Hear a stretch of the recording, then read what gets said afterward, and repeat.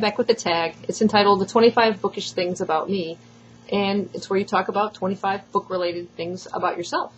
And it was created by Katie's Book Club, and I was tagged by Vebke over at One Book, One Review. I'll put links to both of their channels down below. So here we go.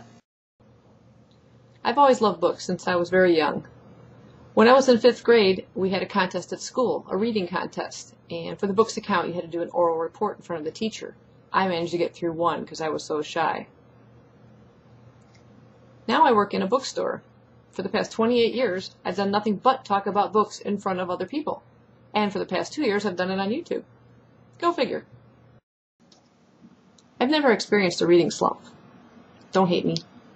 There are, however, two books I've not been able to finish reading. One was Catch 22 by Joseph Heller, and the other one was The House of Seven Gables by Nathaniel Hawthorne. Way too boring. I want to enter the world of Harry Potter, I want to visit Hogwarts. I want to walk down Diagon Alley and go in all the shops. I want to see a Quidditch game. I love books that are about books, whether it's a dystopian world where they're burning books, or a book where everyone who's read it has disappeared, or the series that focuses on the cemetery of forgotten books. I love that.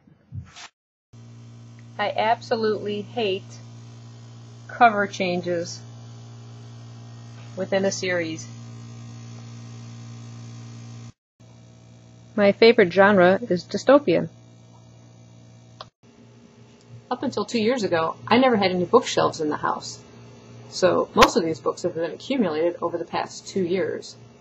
Yikes. I love searching out for books at used bookshops and library book sales. That's where a majority of these have come from. I come from a family of non-readers. I think I must have been adopted.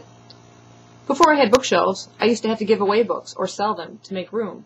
I regret every single book I ever gave away. I want them back. I do judge books by their covers.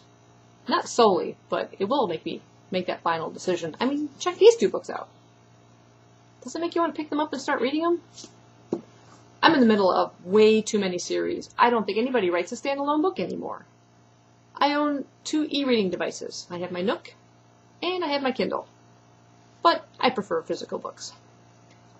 I take books with me everywhere I go, whether I'm in the car, uh, I'll read them in the car if I'm not driving. I will take them to and from work. If I go out to a restaurant, I always have a book with me. I am in the middle of several books at the same time. That's generally what I do. I'm reading The Fifth Wave right now, Uglies, and The Wonderful Wizard of Oz. I enjoy audiobooks. I will listen to them in the car driving to and from work. I will listen to them on my iPod while I'm out walking my dog. I like books where the main setting is a house, particularly ones that are kind of creepy and there's kids involved and they go in and explore all the secret passages and uncover all sorts of mysteries, or there might be ghosts within the house. I really like that. I mean, wouldn't you like to explore that house? I'm sort of an armchair traveler. I love reading travel writing books, particularly those where people move to a new country, meet uh, the neighbors, they're kind of interesting characters. You get to experience the food and the surroundings.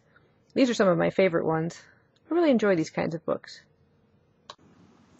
Whenever I read a hardcover, I always take the dust jacket off. It's just easier to tote around, and you don't have to worry about damaging the dust jacket. Sometimes they're pretty cool underneath. I prefer US trade backs as opposed to UK trade paperbacks, mainly because they're just much more floppier than the UK ones. And that means you can open them up easier and read them and not have to worry about cracking your spines. Whereas with the UK ones, there's a lot of tension before you can even read the text in the middle.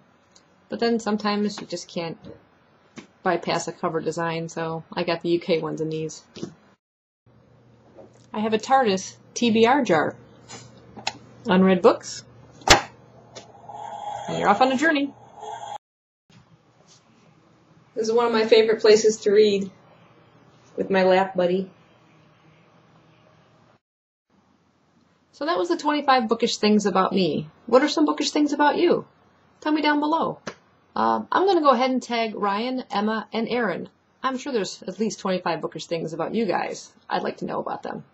Thanks for watching and happy reading.